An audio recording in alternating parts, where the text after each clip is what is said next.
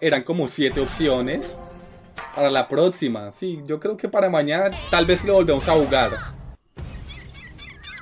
¡No!